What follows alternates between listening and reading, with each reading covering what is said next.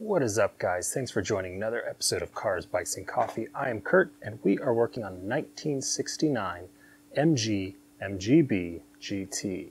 And this is having some running issues. And basically, what we need to get down to is the carburetors, at least up front. We have two SU carburetors, and one is leaking profusely. So, what we first want to do is go ahead and pull those and then once we rebuild them, we're going to put them back in and then check for timing and just tune up the car. So stay tuned.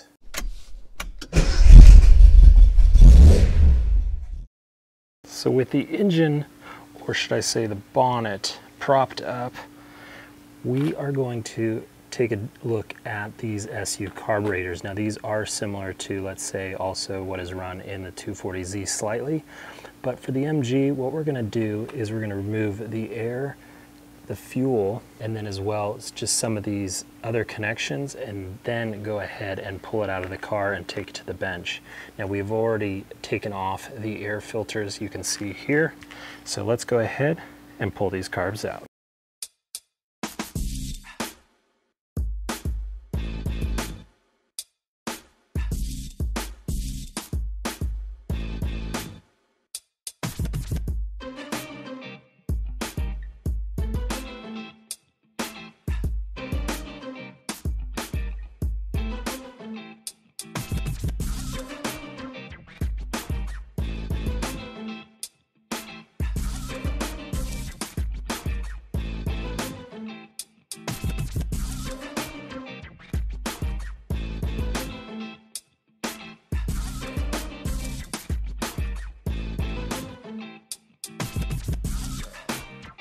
So the one thing we want to do prior to pulling off the carbs is make sure you have pictures of the carburetors when they were mounted or any part that you're taking off and that way you can reference the way things go back together. Now what we're also going to do is take apart just one of the carburetors at a time. That way if anything happens we have the other carb to reference it. And so what we're gonna do is go ahead and remove these hoses and separate the carburetors and then start taking apart the one that was leaking.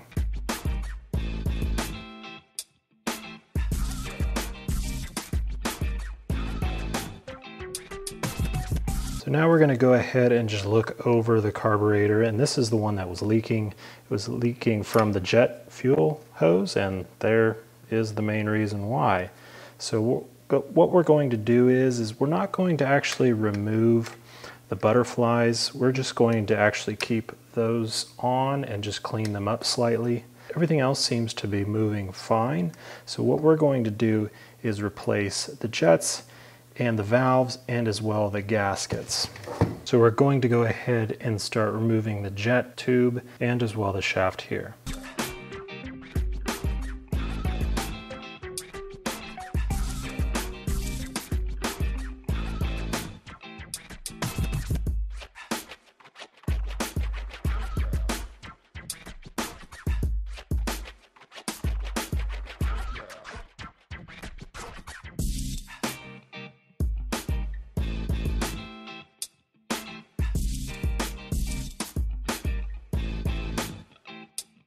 And so now that we've taken most of these parts and we're keeping everything in order and in line of where they come out, we're gonna go ahead and take the fuel float out and there is a side to this that has a knurled mark and so we're gonna take it from the knurled mark out.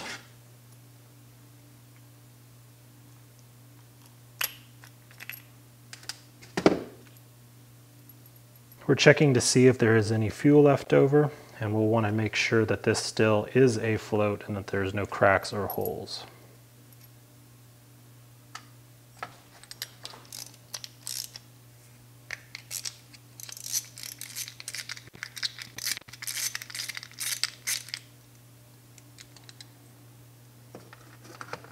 So now that we have all of our main pieces apart, we're going to go ahead and look on the inside and just inspect that we have no issues on the needle. And in this case we're actually going to replace the needle but everything else looks pretty well sorted. So we're going to go ahead and clean the aluminum pieces. Now the way we're going to go ahead and clean is give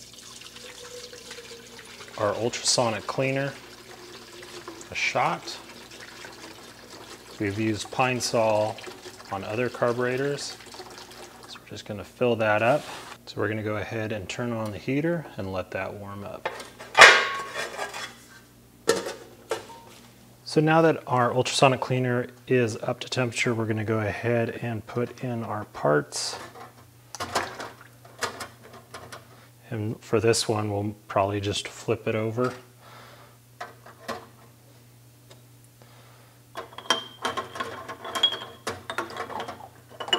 Just load that up. And then we're gonna run this for about eight minutes.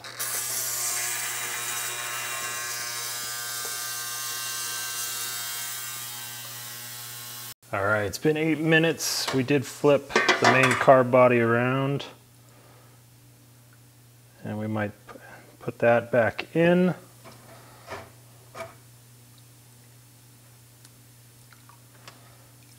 That looks a lot better. So what we're gonna go ahead and do is get the other parts clean so we can put this all back together. All right, so we have got all of our parts clean. So we've laid out all of our pieces from our rebuild kit and our clean pieces and things we've just kind of wiped up. So now the last thing we want to do is go ahead and test whether or not this float still works. And we just have a glass of water. Looking for bubbles and I don't see any, so we are good. So now what we're going to go ahead and do is rebuild this carburetor. Put together the fuel housing. We're going to go ahead and put rubber bushing together. Take the top, take our new needle seat and gasket. Place in our needle valve, take our float,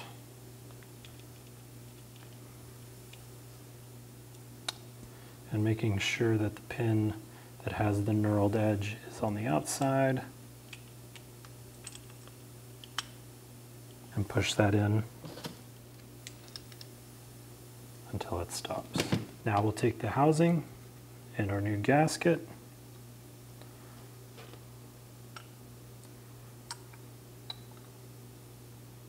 take our screws always best to put them on just slightly tight so you can get all the, the bolts on and then go through and tighten them.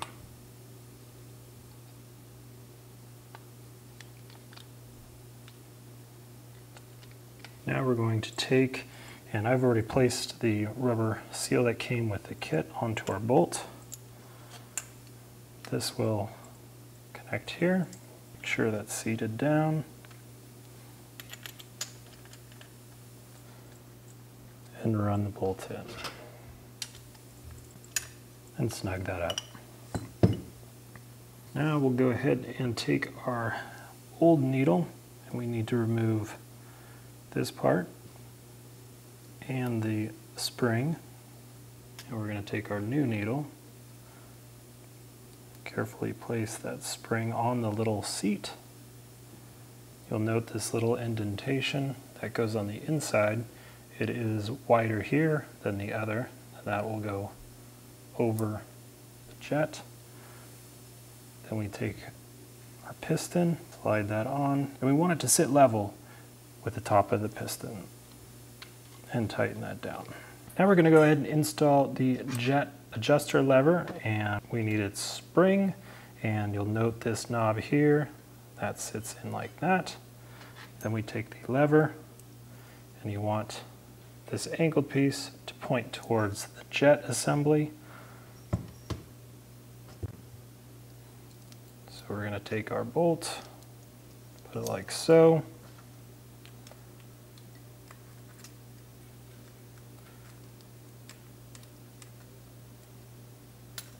Thread it on and then snug it up. So now we're going to go ahead and install the jet adjusting nut and spring and what we're going to do there is screw this down until it's all the way in. Now we're going to go ahead and take our piston from our dash pot and what we want to do is just give this just a real light lubricant, nothing major.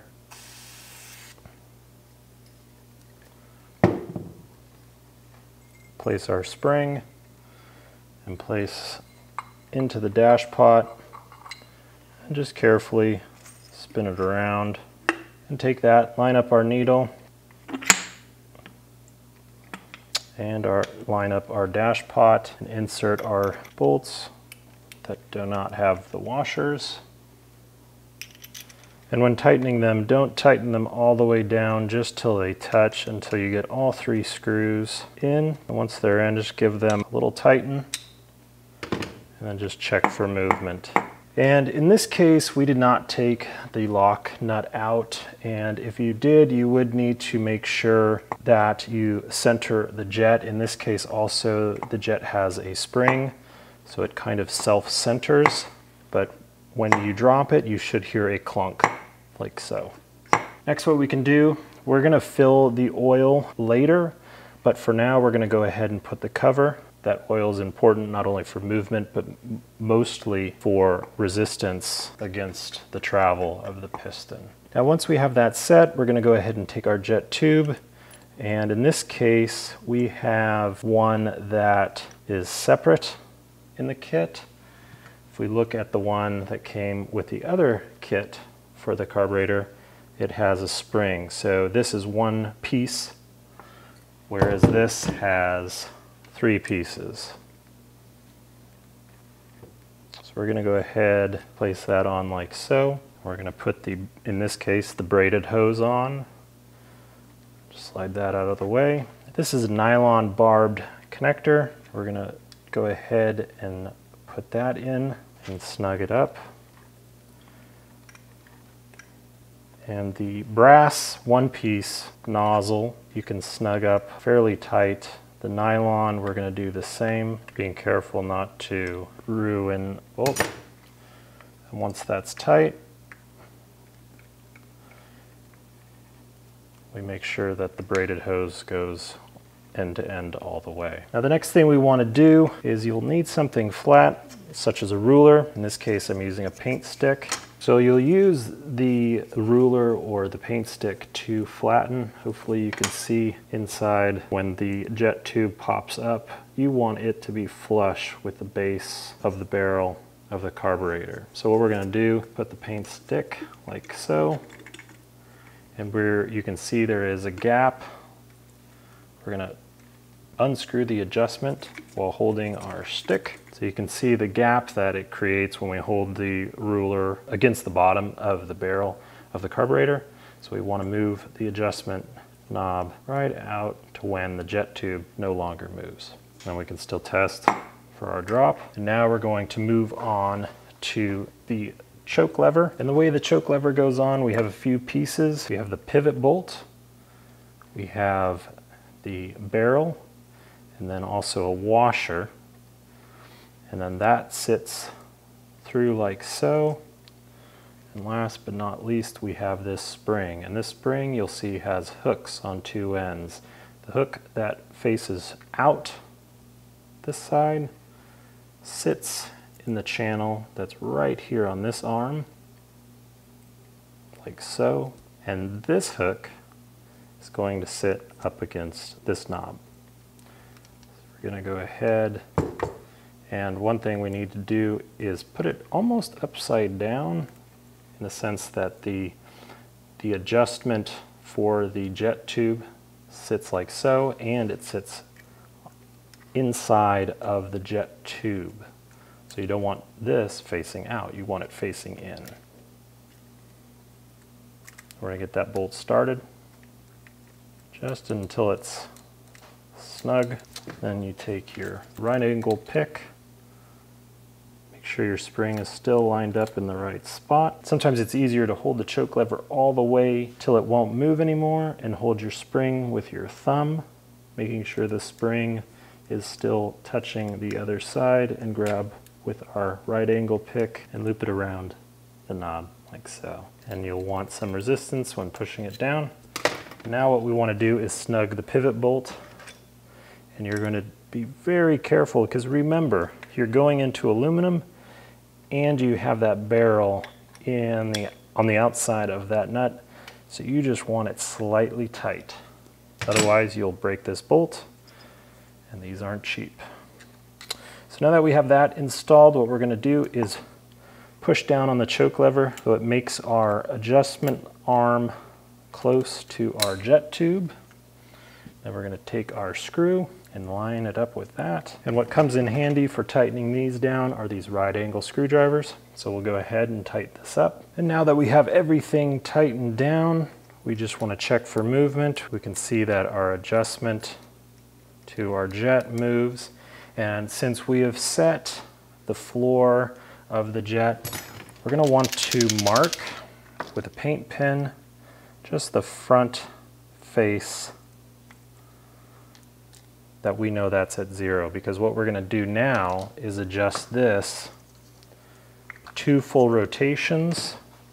We're going to go around so we see this twice or you can just count faces and go 12 because this is a six sided bolt. So we'll go ahead and unscrew that two times.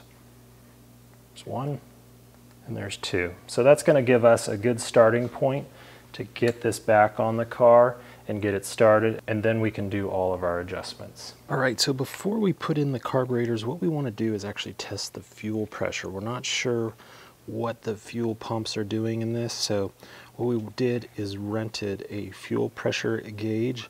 We hooked it up to the fuel line, so let's turn on the ignition and see where we're at. So in this case, we're using a gauge that is for fuel injection, so much higher pressure. And since we are only trying to get a couple PSI, there's barely any reading with the fuel pump on, so I think we are good. We don't exceed our pressure. So now we're gonna get the carburetors installed. All right, so now that we know that the fuel pump is running well, we've got the carburetors rebuilt, what we're gonna go ahead and put them together at the same time and then slide them on.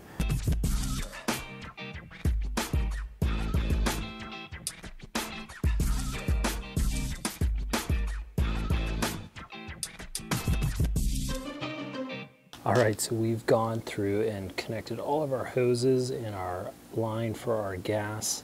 And now what we want to do is prime the fuel pump and just bring that pressure up, fill those float bowls, and check for leaks before we start the car.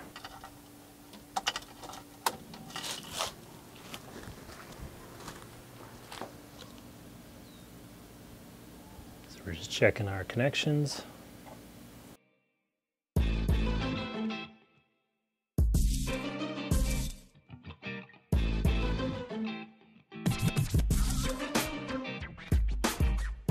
All right, so we've gone ahead and filled up the oil in the dash pot. Definitely double check depending on where you live and the temperatures that you're operating your car in for specifics. But for now, before we tune the carbs, let's talk about what we've done on this to get this car ready. All right, so when you are working on a carbureted car like this MG, there's a few things that you need to check and make sure is spot on. Like for example, you want to make sure that you have fresh gas. Don't want to be trying to start this with bad gas. So drain the gas and put fresh fuel in.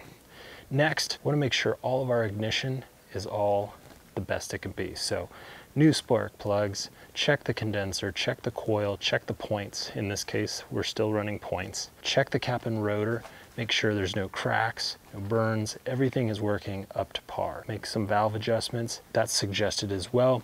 In this case, we want to also make sure that timing is set correctly. Now, what we've done off camera for the MG is we went ahead and did static timing and basically that's where you line up the crank pulley to a certain degree, in this case 10 degrees below top dead center, and then we check the distributor to where the points are closing and opening and we want it to shut off. So in this case we are set. We've gone through and gapped the spark plugs. We've cleaned out and updated the distributor and made sure it was oiled. And then we also have gone through and made sure it has fresh fuel. So now let's try to bring that fuel into the carbs by just clicking on the fuel pump just to the run position. In this case, we're just gonna turn the key on to the run position.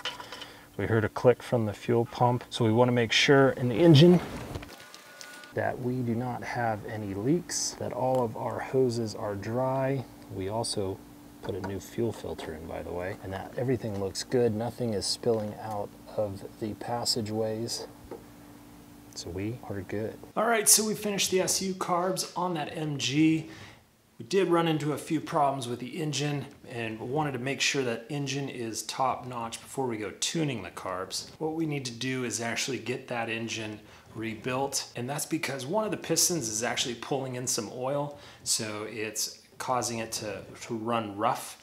But once we do that, get those carbs tuned, that MG will be back on the road. So thanks so much for watching. If you guys like what you see, consider subscribing. Do appreciate every single one of you. We do have what you guys have been patiently waiting for is the 260Z coming right up. We've been getting things lined up so we can work on it once again. Can't wait to bring that to you. And also we've got a 1993 Audi S4. So also stay tuned for that. But until then, you guys have a good one, and we'll see you then.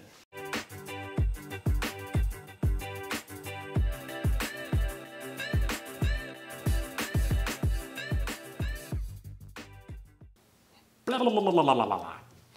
So thanks so